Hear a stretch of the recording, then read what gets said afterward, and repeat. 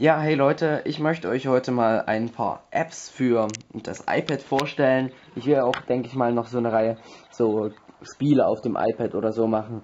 Da kommt bestimmt noch was, aber heute zeige ich euch mal ein paar Apps, dass ihr mal so einen kleinen Einblick habt. Als erstes möchte ich euch die Einstellungen zeigen, weil da viele ganz erschrocken waren. Ah, wie sieht denn das aus? Da finde ich mich ja niemals zurecht. Ist eigentlich total simpel. Wenn ihr jetzt beim iPod die Einstellungen habt, wenn ihr da reingeht, dann sieht es eigentlich nicht viel anders aus. Und zwar habt ihr hier in den Einstellungen einfach die Punkte, die jetzt hier an der Seite stehen. Und wenn ich jetzt zum Beispiel auf Wi-Fi drücke und hier auf Wi-Fi, dann sehe ich sofort hier drüben, was jetzt hier erst aufgemacht wird. Also ist genau dasselbe wie auf dem iPad, nur dass ich hier vorne die ganze Zeit schon diesen Auswahlscreen von hier habe. Von daher sehr simpel und man findet sich auch zurecht. Ja, da gibt es unter, äh, man hat jetzt hier noch Bilderrahmen mit weil man kann das ja auf dem Lockscreen auch als Bilderrahmen verwenden. Wenn man einfach hier unten auf diese, ja, auf diesen Knopf da drückt, dann wird das sozusagen ein digitaler Bilderrahmen. Finde ich, es sieht toll aus. Äh, ich habe hier einfach mal ein paar Fotos äh, eingespielt. Äh, dann kann man unter Helligkeit und Hintergrund die einzelnen Hintergrundbilder festlegen.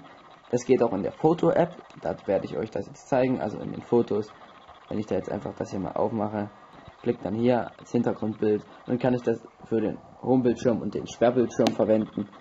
Also ganz einfach, ganz simpel. Ja, wie gesagt, ich möchte euch ein paar tolle Apps zeigen. Fangen wir an mit N24 HD. Perfekt angepasst für das iPad, die N24 App, die habe ich auch auf meinem iPod hier immer verwendet. Die ist sogar auf der ersten Seite und jetzt gibt es die HD für das iPad.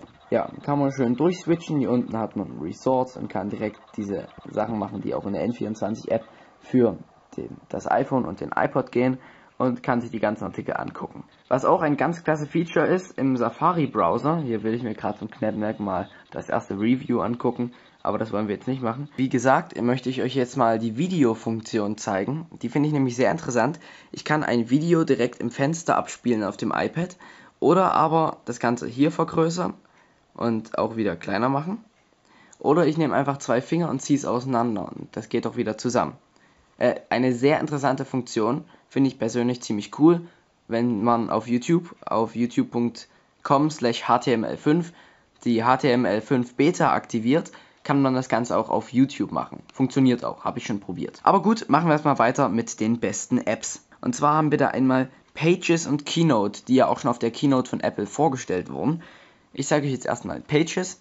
Damit könnt ihr sozusagen Dokumente, Word-Dokumente erstellen. Ähm, meiner Meinung nach ist das ziemlich cool. Also ihr könnt auch hier ranzoomen und die ganzen Sachen anpassen. Gibt auch ein schönes Tutorial hier als Test. Und ähm, da kann ich nur sagen, das ist wirklich schön gemacht. Ich kann unter meine Dokumente ganz einfach hier unten das Ganze per E-Mail versenden, exportieren oder auf iWork hochladen. Und exportieren bedeutet, dass das sozusagen in den Speicher des iPads eingelegt, äh, reingemacht wird, wo auch die Fotos sind. Und man kann das Ganze dann einfach per USB auf seinen Computer ziehen. Und das Ganze gibt es auch als Word-Dokument. Und man kann äh, das Ganze dann auch per E-Mail verschicken und das dann am Computer weiter bearbeiten. Das haben wir alles schon getestet. Dann haben wir Keynote, das äh, sozusagen Excel-Programm für das iPad. Und die habe ich jetzt noch nicht gemacht. Wir gucken jetzt einfach mal das Original an. Ähm, man kann das sehr schön hier auch abspielen oder einfach drauf tippen oder einfach so weiterziehen. Das geht auch. Und äh, wenn man so macht, kommt man sozusagen eine Folie zurück. Aber man kann auch einfach drauf tippen, um auf die nächste Folie zu kommen. Es gibt auch schöne Animationen, wie ihr hier seht. Und ja, einfach wunderschön gemacht. Es ist einfach klasse, auch wie das sich so zusammenschiebt. Nichts ist unmöglich mit Pages. Hier ist wieder dasselbe. Wenn ich Doppelklick mache, komme ich übrigens wieder aus der Präsentation zurück. Kann das Ganze ja auch wieder exportieren. Allerdings hier nur als Keynote und PDF-Datei und nicht als ähm, PowerPoint-Datei. Schade. Und man kann eine neue Präsentation starten oder das Ganze duplizieren oder diese Präsentation löschen kann man natürlich auch machen. Die nächste schöne App, die ich euch vorstellen möchte, ist der iBook Store. Habe ich ja vorhin im ersten Review-Video schon mal gezeigt. Und ja, ich finde es persönlich ganz schön, wie man die Bücher lesen kann. Es tun einem auch nicht die Augen weh. Das finde ich sehr praktisch. Von daher kann ich nur sagen, wunderschön gemacht. Als nächstes haben wir Focus App. auch angepasst, ist sozusagen eigentlich dasselbe in grün wie N24, nur von Fokus eben. Es gibt da auch Apps, da bin ich mir aber nicht ganz sicher. Ich glaube, die Bild-App ist eine, die äh, muss man sozusagen abonnieren, die kostet dann Geld. Ja, wie gesagt, Backgrounder funktioniert für das iPad, ist auch angepasst von der Größe her, aber ich will das iPad jetzt nicht drehen, ja, oder so. äh, ja, da kann man eben jetzt Backgrounding einstellen und das funktioniert auch alles. Also Backgrounder funktioniert für das iPad, solltet ihr euch unbedingt angucken. SB Settings natürlich, Jailbreak App funktioniert ebenfalls auf dem iPad. Ich kann ebenfalls die Helligkeit einstellen und ihr seht schon, ich kann die Helligkeit extrem verändern. Aber ich finde, das hier ist die beste Helligkeit. Man erkennt es gut im Zimmer. Wirklich gut im Gegensatz zum iPod. Wenn ich den nämlich auf die niedrigste Helligkeitsstufe stelle, da, dann erkennt man da im Zimmer fast überhaupt nichts mehr. Also im Gegensatz zum iPad ist das schon ungefähr die Hälfte oder etwas mehr als die Hälfte auf dem iPod. Ja, soweit dazu. Äh, eine schöne App ist natürlich Sounddrop, habe ich äh, Sounddrop, hat mich meine Schwester gerade darauf hingewiesen, dass das so heißt. Habe ich ja schon mal im vorherigen Video gezeigt oder auch nicht. Kommt ganz auf an und wenn ich da jetzt den Ton anmache, kommen da mal schöne Töne her. Das geht natürlich nicht mit dem iPod, da ist der Screen einfach viel zu klein da würde so ein Programm gar keinen Spaß machen. Aber hier auf so einem iPad macht das doch ordentlich Spaß, sowas zu benutzen, auch wenn der Ton irgendwann ganz schön nervig sein kann. Aber es geht und es macht Spaß. Dann haben wir natürlich Doodle Jump. Das ist allerdings keine HD-Version, sondern kann man auch jetzt einfach nur verkleinern. Da ist hier unten ein Button, da steht zweimal drauf. Und wenn ich da draufklicke, wird das Ganze groß. Und wenn ich nochmal draufklicke, da steht dann übrigens einmal drauf, wird das Ganze wieder klein und dann kann ich sozusagen Doodle Jump in einer Mega-Auflösung spielen.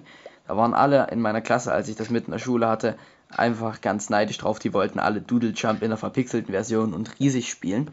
Ich sag mal, warum nicht, ne? Biodefense ist ein schönes Spiel, äh, da muss man sich wehren gegen solche Zombies, die da langlaufen, aber eigentlich wollte ich das jetzt nicht zeigen weil ich glaube, ich war gerade tot. Ja, also ist sozusagen ein Strategiespiel, genauso wie Command and Conquer. Hier, aber das will ich jetzt auch nicht zeigen. Das wird sonst nur zu lang. Das sind alles HD-Spiele. Äh, viele sind ganz lustig. Äh, natürlich funktionieren auch, wie gesagt, die iPhone und iPod Touch Spiele wie Fastlane oder MX Mayhem.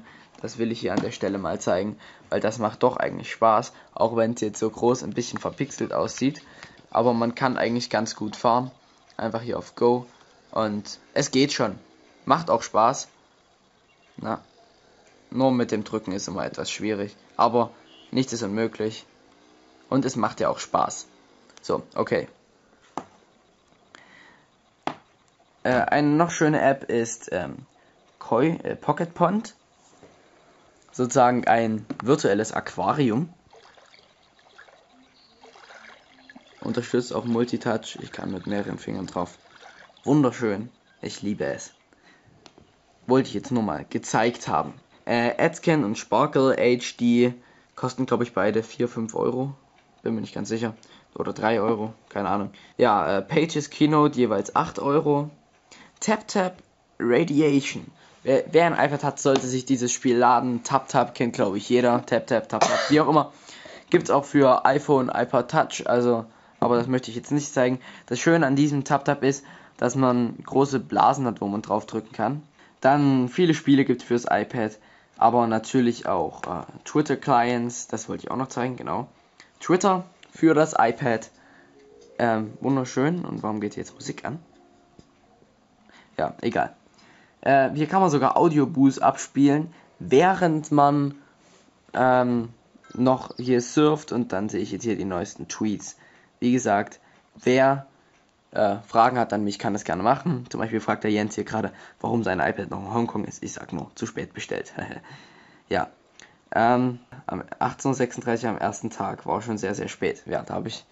Mann, da war ich ja sogar eher. Nee, eh, da war ich sogar später. Hä? Ist ja lustig. Hm. Naja, man kann es nicht ändern. Tut mir leid. Ihr könnt es jetzt nicht ändern. Gut. Ich wollte nur noch sagen, abonnieren, kommentieren, bewerten. Und ja, wenn ihr Fragen habt, einfach stellen. Ich beantworte die Fragen einfach hier in einem Add Reply. Könnt ihr mir die Fragen stellen. Und der aktualisiert jetzt hier auch gerade 16.17 Uhr. Was ganz lustiges ist, ihr seht, das iPad lädt gerade. Allerdings, wenn ich an meinen Computer anstecke hier drüben, lädt das Ganze nicht. Das liegt dran, das braucht ein Netzteil, was mindestens 10 Watt hat und das ist USB 3.0. Ich habe aber bei mir nur USB 2.0 dran und deswegen steht da immer da, lädt nicht. Zum Glück ist da ein Netzteil mitgeliefert, weil am Computer würde das iPad bei mir nicht laden. Das nur wollte ich noch gesagt haben, weil, weil es bestimmt manche interessiert, warum da eben lädt nicht dasteht. Äh, Winterboard funktioniert für das iPad, allerdings äh, geht das im Landscape-Mode noch nicht ganz so richtig. Da gibt es noch ein paar Probleme. Also Winterboard empfehle ich euch noch nicht, aber ansonsten ist das iPad wirklich ein schönes Ding, das ihr euch unbedingt laden solltet, äh, kaufen solltet. Ist Geschmackssache, aber wie gesagt, mir gefällt es gut und deshalb danke fürs Zugucken und bis zum nächsten Mal. Und natürlich abonnieren, kommentieren, bewerten.